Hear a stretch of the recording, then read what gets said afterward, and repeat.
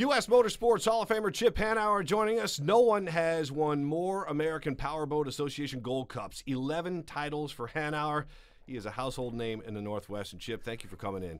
Um, I'm really looking forward. It's a big week with Seafair, and I'm really looking forward to, to hearing some stories. But how excited are you when it gets to late summer and and you get involved again with the hydroplanes? Well, you know, I, I'm a Seattle native.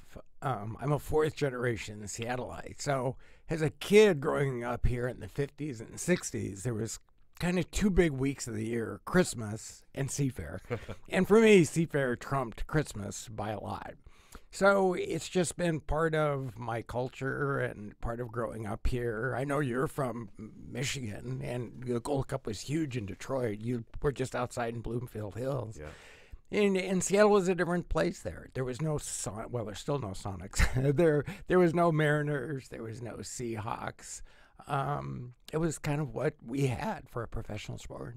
When you, before we dive into some things, um, are you a little like? Do you see the sport kind of um, that people have lost interest in the Northwest, and maybe it's an older crowd, and you're trying to get the younger crowd interested in it? Do you ever see? it? Well, I think it's really complex. I think we could sit here for hours and talk about what happened or what has happened.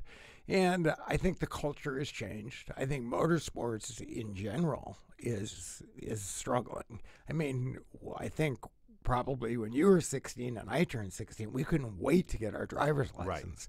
You know, cars and fast stuff was cool. Well, now I have friends with 16 year olds and they don't want to get their driver's Isn't that stunning? It's stunning. I just can't believe it.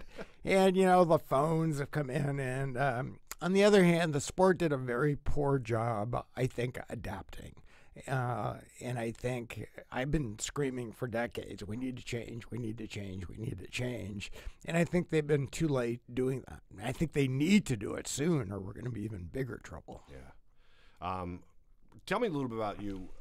You know, because there's a lot of stories out there, and of course the books about you, and a lot of um, you know just written pieces about you. But how did you develop this love affair for racing way back when? You know, Paul, it's it's funny. I'm the only person I know that at the age of five, I knew what I wanted to do. There was just no question in my mind. I wanted to be a race driver. And at that time, it didn't matter what it was. I just wanted to race hmm. something. And growing up in Seattle, obviously boats were everywhere. And the Seattle Outboard Association had a class for kids from 9 to 12 and that was it. I just had to do it. And so, I mean, there's not a day that goes by that I don't pinch myself and think, how did a kid growing up in Seattle who dreamed of being a hydroplane driver and have it actually work out?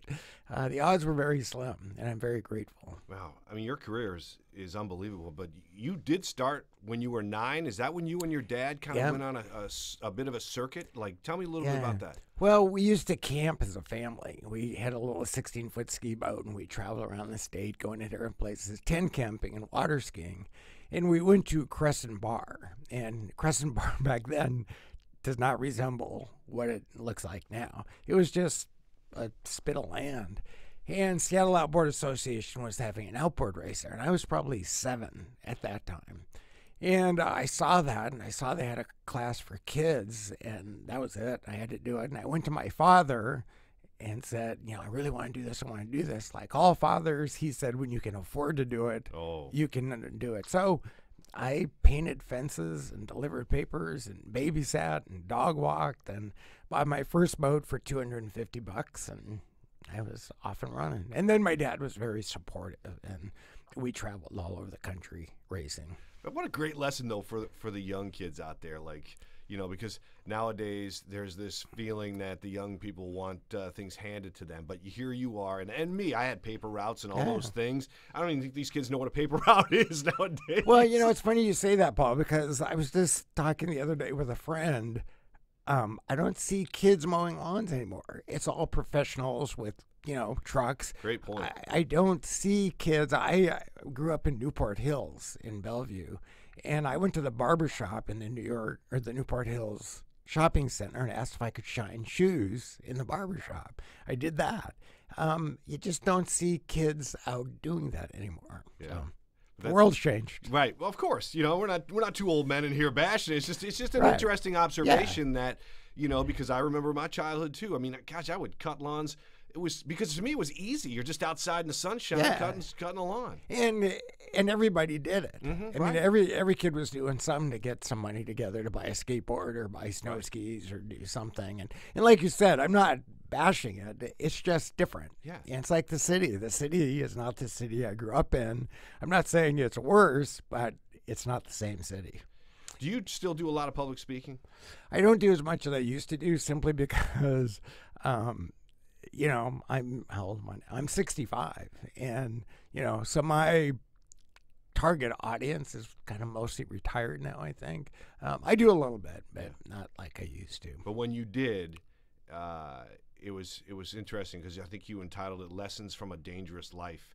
Um, you probably learned a lot of lessons in your career, but but was there is there one or two that stuck out that you just you know that one like a point you like to make when you talk in public?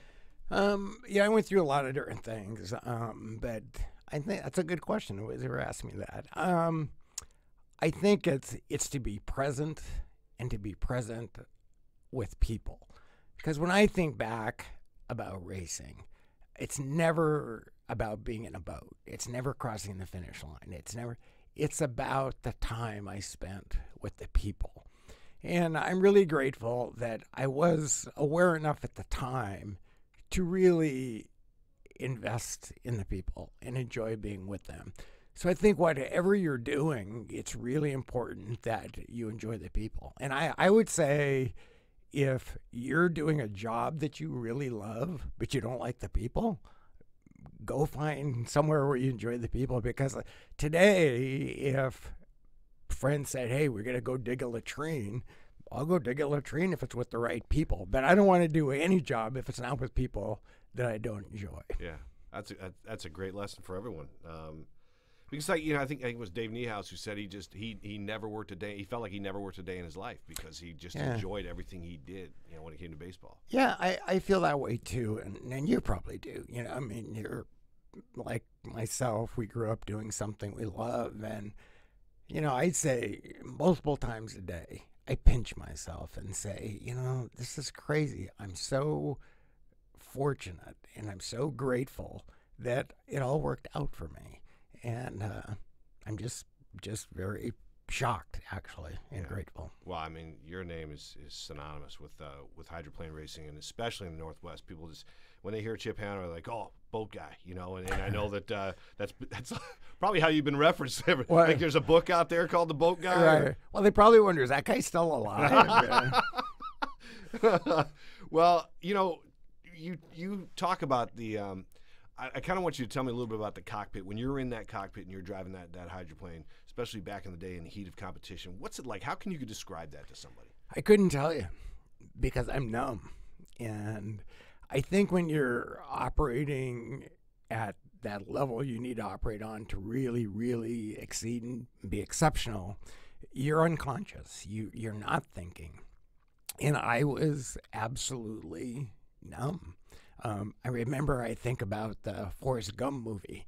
Remember when he catches the touchdown and he runs through the end zone, then he runs out of the stadium, then he runs across the parking lot. Well, it was that way for me. I'd go across the finish line. The guys on the radio are going, "Okay, stop, stop, stop, stop, stop," because you're just in this place. And there's a great book called Outliers, and it's about how to get in that zone. And I remember I was very lucky when I was with Miller. I got to have dinner with Reggie Jackson one time, and we were talking about this very subject. And he talked about hitting three home runs in a World Series, right? Is that what it is? It was three home runs. Mm-hmm. And I said, you know, how how does that happen? He goes, same thing as I just said. He goes, I don't know. He said that day it looked like a beach ball. He said it would leave the pitcher's hand and it was this big, slow beach ball. And I could just stand back and look around and go, I think I'm going to put it over there. He said it was never like that before. It was never like that after. But every once in a while, I think whether you're a musician or a dancer or, you know, a football player, if you can get into that zone, it just happens. Yeah, and it, and it, it doesn't happen all the time. It doesn't happen all the time, and it happens to different degrees. Mm-hmm. And now I'm studying music, and I mean, I started racing when I was very young, so it just gets into your central nervous system.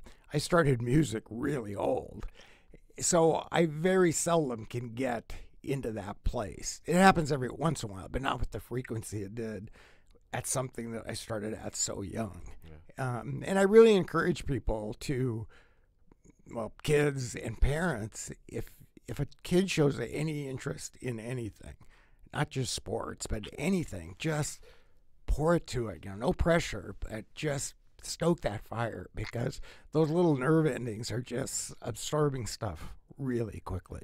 Yeah, I I had that own experience with my own son. Like he was huge into drums and huge into music, so we we kept you know pushing you know trying to buy the equipment he needed and just so he could just so he could keep growing in, Yeah. in that area because you're right like if if your son or daughter loves something so much that if you if they can make a career out of that wow Yeah. you know th- then you got it But but if not, it's still worth it. Right. You know, and a lot of I get a lot of people come to me that have kids that show talent in racing and they go, We you know, at ten or eleven, we want you know, we want them to go to NASCAR, we want them to go to Formula One. It's like don't do that.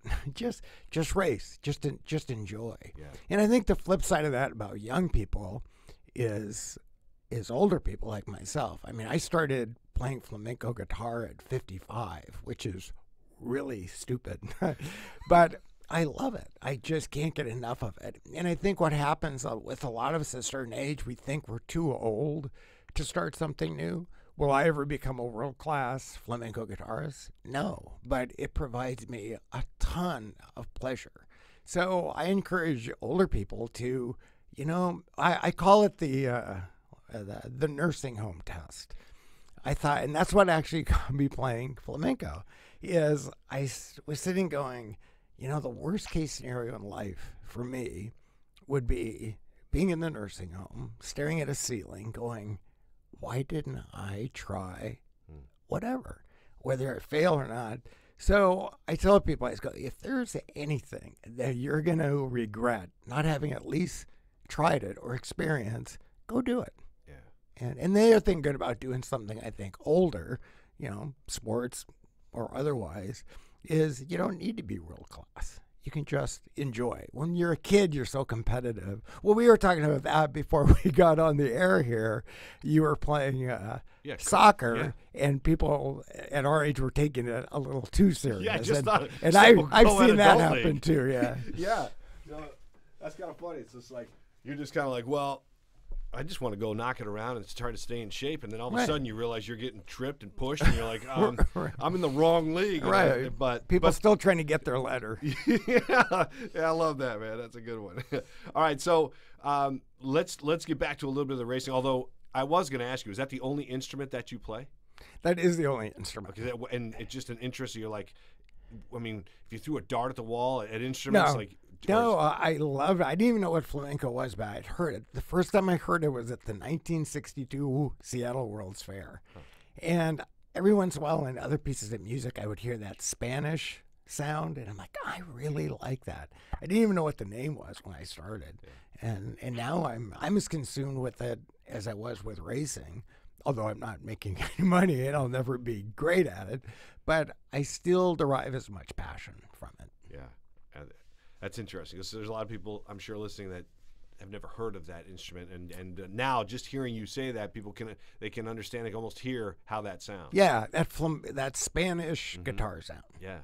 Um, you know, when you started racing, you you know every everybody gets their break. You know, you try to get in one boat, then you you know you you, you bump up and you bump up, and you had your big start with, you know, with Atlas Van Lines. I mean, that was kind of like that's. Did you feel like at that time that you were on the map? Was that was that the time? Yeah, probably. There's a lot of those times, but yeah, that was a big one for me. Um, Bill Muncey was, you know, he was, you know, the Babe Ruth of hydroplane racing. And when he was killed, um, they built the team decided they wanted to keep going. They built a new boat. And I remember one evening, the boat was almost done. They were painting the boat, and I pulled up in the shop, and the sign painter was painting my name on the side of the Atlas Van Lines, and it took my breath away. Hmm. I'm like, that's crazy that my name is where Bill Muncey's name should be.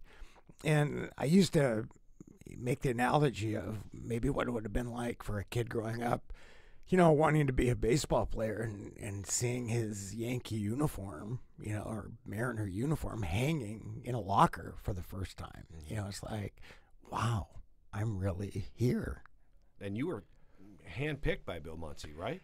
Well, Before- I mean, un- before his- unbeknownst the tragedy, of course. Unbeknownst to me, um, apparently he had talked to Fran Muncey, his wife, about that if something ever happened, he wanted the team to go on, and that maybe they should take a look at me. So, um, yeah, and then we went on that year, which was '82, and just had this magical year. It was just crazy magical. Uh, we won the Gold Cup in Detroit. Nobody thought we could win against the Budweiser because they had this bigger Griffon engine. Uh, Bill couldn't beat it, and it just all worked out. And I could have been hit by a train that fall and gone, okay, I've experienced everything I want to experience. Well, I, I want to talk about Miss Bud in a sec, but but the before you jumped in Atlas Van Lines, you had a what the Squire Shop race team, Right. and you replaced Jerry Bangs, who also died in a wreck. So Yeah. it's so I have to ask you. I know where you're going. Well, I, Yeah. okay, yeah. I mean, And you no, probably and asked it- this and before, valid. but if It's- I'm if I'm a driver and I'm like, Yes. okay, I'm getting into this field. Yep. This uh, guy, uh, you know, unfortunately died. Yep. This t- terrific, legendary racer died. Yep. And here I am getting in the cockpit of of what is a very dangerous sport. Yep. Um, you know, how did you gauge, you know, going in? Um, I was young and dumb.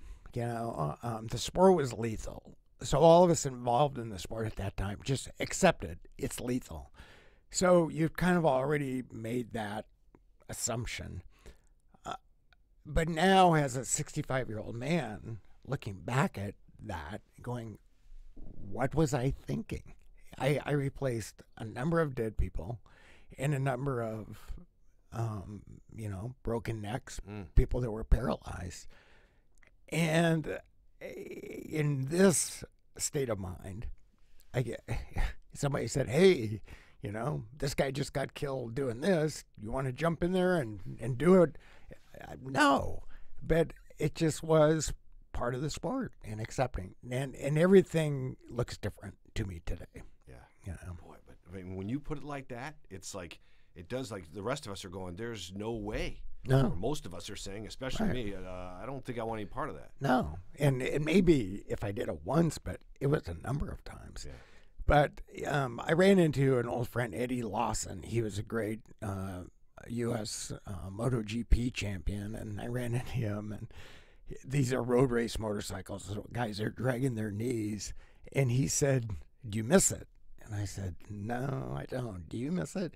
He goes, "No." He goes, "I got up the other day and I turned on the Spanish Grand Prix, and I'm drinking coffee, and I'm looking at it, going." What the hell was I thinking? and it's the same for me now. And also, Paul, let's remember the sport was different then. Um, if you crashed, you died. Nowadays, it's like NASCAR with the, and I'm proud to say I was part of that. I was the first guy to wear belts. They tried to stop me, and then we got the canopy. So the sport was much different than it is today. If you see a boat flip today, you it's like seeing a crash in NASCAR. Your first assumption is, oh, he's fine. Now things can go wrong, but your first assumption is he's fine. But back then, if a boat flipped, you assumed he was probably gone. Man. Well, take me back to I got here in '93 in the Seattle area, and I was on the shores when uh, when you had that crash in '94 um, in qualifying on a Friday. Uh, over there to Stan Sayers Pits on Lake Washington, and take me through what was going through your mind if you because it was so fast and so quick. I'm sure, but we will never know how that feels. What was it like for you when you took flight? Well, the taking flight I'd experienced before. It's like I said earlier, it's part of the deal. And your first reaction is, damn, this is going to ruin a perfectly good day. And probably a perfectly good pair of underwear. But um, what was exceptional about that crash is when the boat goes airborne, you're hoping land right side up, land right side up. It didn't. It landed upside down. And then there's two ways of getting out. There's an escape hatch through the bottom, which is now above you, and there's the canopy that's under you. Well, the bow was so damaged, I couldn't get either door open. The cockpit fills up with water. We have an air mass, but I couldn't get enough air to feel quenched. I could just keep get enough air to stay conscious, and that was horrible. It was really horrible, and it was about almost ten minutes before they got me out of there. So that one, that one I remember. And um, again, back to being young. In an hour and a half, I was in the backup boat. You know, now I would have to go away for a month and you know go sit on a mountaintop and recoup. But you mean, know, it's you just become. You know, I came up with a little saying back then, and in like all sports, um, you have to be a warrior. And I came up with a little saying that I think being a warrior is really good for the ego, but it's hard on the soul. And uh, as you get older, you're more interested in your your soul and your comfort. So, again, I look back at that and I think, what was I thinking? yeah. Was that your worst one? That was my most uncomfortable one because I was conscious for the whole thing. I thought I was going to drown. Yeah. I've had other accidents where I've broken my back. Actually, that wasn't an accident. That was the escape hatch under the boat actually failed, Oh man. and I got hit in the rear end. It took my I'm belted in. I took my legs and put them over my feet, Mm. and I broke my first, second, and third transverse um, processes in my back. Um, the one that I think did the most damage to me was a, a Budweiser crash where I was knocked unconscious, and I was out for about 15 minutes. And I now suffer a neurological disease that makes it difficult to speak. The only way I can speak to you today is they inject me in my vocal cord muscles with Botox, the same stuff you know people use Yeah. for cosmetic. Um, otherwise, it's almost impossible for me to speak. And that was that was the result of of the crash you're speaking of, or with a '94 crash. That was the crash I'm speaking of, where I was knocked unconscious for so long. So I think it was a pretty bad head injury. Because you lost your voice for three years, is what I read. Well, I'm still lost it. The only the only way I can keep speaking is um, the fine people at uh, at uh, Kaiser Permanente inject me in my vocal cord muscles about every six weeks, and without it, I can I can be understood, but it's it's hard. It's exhausting. So I'm like, you know, I got I saw that news today about that fighter who died. Mhm. Um, so head injury in all sport is it's a real thing, and I think we we have to think about that. Well, I want to ask you one question about about Bernie Little and, and Miss Bud because there was a time where, uh, you know, if they people don't realize. I don't think maybe they do, but Bernie was for you know he was Miss Bud was just crushing everybody. But it was decades. I mean, they started this thing in the '60s where he would just you know he had a lot of support, a lot of boats. You were in that boat for I think four or five years. Uh, three years. Three years. Yeah. 92 to 95, I think Yeah. was it was. Yep. So when you're in that um, in that situation and, and you everybody going to these races feels like Miss Bud's going to win. Why are Mm-hmm. we here? So and, and and as the the sports analysts, you know, as we're sitting there on the beach going, you know, it's Miss Bud's race. How much of an advantage was it to have to have those resources and and and, and how much is it on the driver and how much is it a beautiful boat? Well, it's everything. You know, it's a really good question. You know, let's talk about the resources first. You know, the Yankees win a lot of World Series, not because they're lucky, but they got a lot of resources. You buy talent. And it was the same thing in motorsports. You buy talent. You, people look at, and the question is, is it the driver the machine? It's not that so much because the machine is a creation of people. So the resources buy you great people, great people get you great machines. Now, is it the driver or the crew chief or the, the team? And the analogy is that to a basketball team. So you have guards and forwards. And there are some nights where the forwards are just unstoppable. And all the guards got to do is just keep feeding it in there. You know, they go for a ride. Next night, the forwards can't hit anything, and the guards have to pick it up from the outside. So it's the same thing in racing, and that's what we're going to talk a- a lot about in two weeks when we do Seafair here, um, because there's some drivers that have a better boat. So their job is to not screw it up. They have a lot to lose, but there's a couple of other guys that have a little bit less boat, but they're hugely talented, so they can swing for the fence. And you know, Budweiser did have an advantage, but I'm proud to say that um, I took seven Gold Cups in a row at their expense. So, and I treasured that. I treasured, and I was going to ask you that because you're a field goal kicker. So, as a race driver, on one hand, I wanted to have the best boat because I wanted to win. On the other hand, I liked not having the best boat because I had nothing to lose. Yeah. I could go in there and swing for the fence. So, as a field goal kicker, do you want that call with with one second left on the clock to save the game, or do you dread that? Well, I think, I think most of us are nervous as ever when when it gets to that point. but then you look at the history of these kickers, and people say, "Oh, kickers are a dime a dozen." Yeah, but the guys that have the stones that are Yeah. really good at it, Yeah. um, they're not, and that's why even the Seahawks have gone through just a rash of them of late, and even the NFL. That's a revolving door. Yeah, um, but I will say that that, and to your point, um, a driver that can take it to the next level. Like I remember kicking or watching Josh Brown kick a 55 yarder in just very cold last minute uh, game in Denver. He won the game on this kick in the final seconds. Yeah. Who has who can go out there when it's 15 degrees and kick it off the ground when it's dirt and knock it through in the clutch like that? And that is just a just a different gene, a And- different level. And that's where the satisfaction is. Mm-hmm. You know, he went home that night. To this day, he's thinking about that. 30 seconds before, he's like, I don't want to be in this situation. But you live for that. As a competitor, as a warrior, you're scared of it, but you live for it. Yeah. And when it works out and you win a race with less equipment or you kick a field goal at the last second in conditions that you just described, that's what you treasure. That's what you remember. Yeah. Well, clearly, you have those credentials, Chip. I mean, you watching you go was just like, man, uh, you had a heck of a career, and I know at, at 65, you're still you're still driving around out there, aren't you? You still jumping a boat here and there? Yeah, in fact, uh, you and I are going to be doing Seafair uh, live television, but I'm gonna I'm gonna have to leave you a couple of times because we're gonna run my old Atlas Van Lines, the boat that I won my first Gold Cup in. So yeah, I still go out there and don't go fast enough to hurt me or anybody else. And uh, What is what is that speed? What? Um, about 140 at max.